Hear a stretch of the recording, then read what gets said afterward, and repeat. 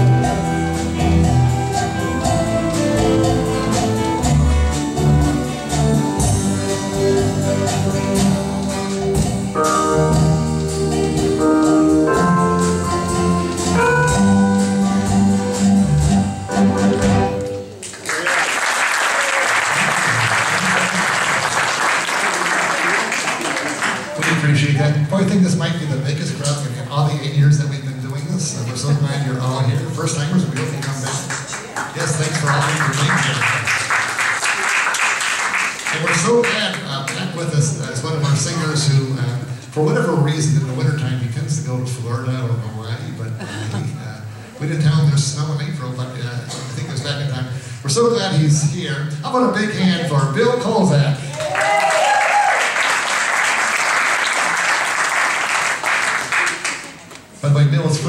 because he needs to, say sad he needs to run to a funeral right after this. So if you see him playing, that's why. But uh, our hearts are with Bill's uh, family.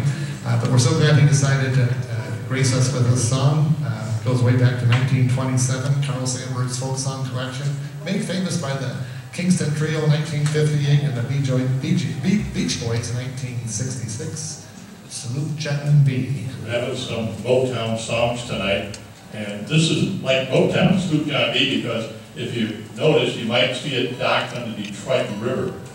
Motown. There we go. And that's why he's wearing the pirate outfit today. Give us a good tempo, Mike.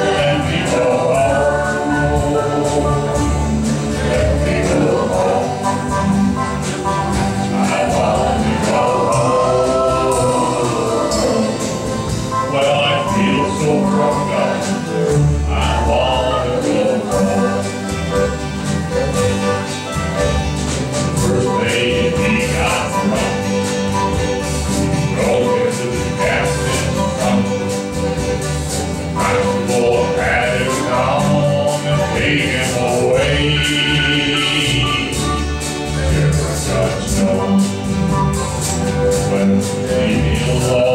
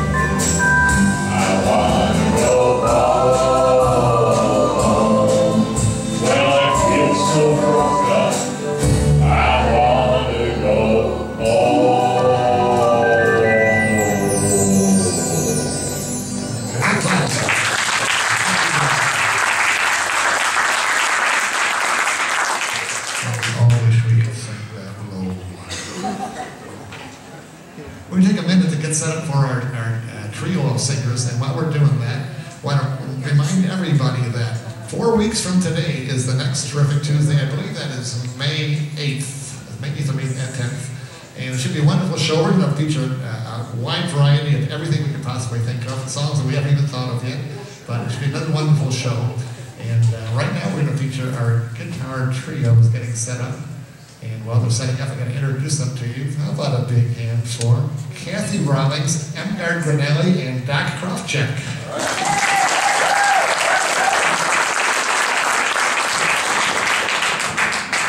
And they're going to keep things going in the Motown vein. Here's another song written by Smokey Robinson. Smokey Robinson wrote uh, My Guy, My Guy. He wrote, of course, all the songs that he's sang? Everything. He did. Uh, Bob Dylan's called him one of my favorite poets, one of his favorite poets. And uh, this song, that was is kind of a uh, song that Smokey and one of his bandmates, Bobby Rogers, were writing on the Motown Revue bus tour from the back seats of the bus, kind of coming up with various pickup lines and weaving into a song called The Way You Do the Things You Do.